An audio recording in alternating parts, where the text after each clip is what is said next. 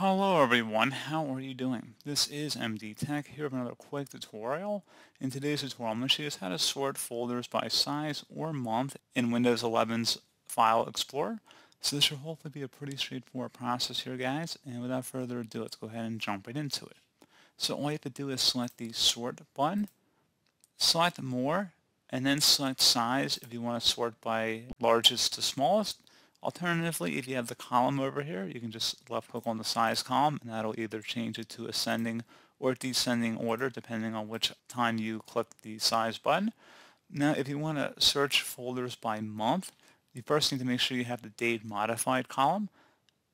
And if you don't see it in here, just right click on the top bar, anywhere really, and make sure date modified is checkmarked. And now you have date modified. If you click on date modified, you can either sort again in ascending or descending order.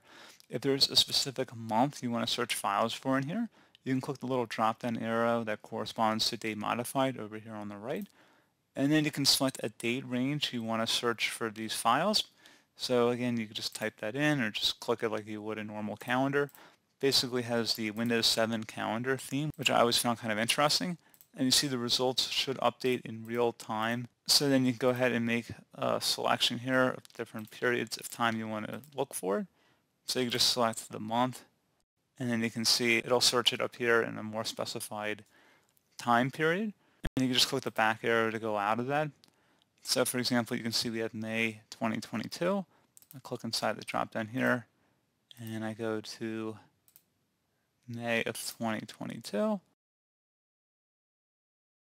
you see that it will then pull up the files that relate to that time period.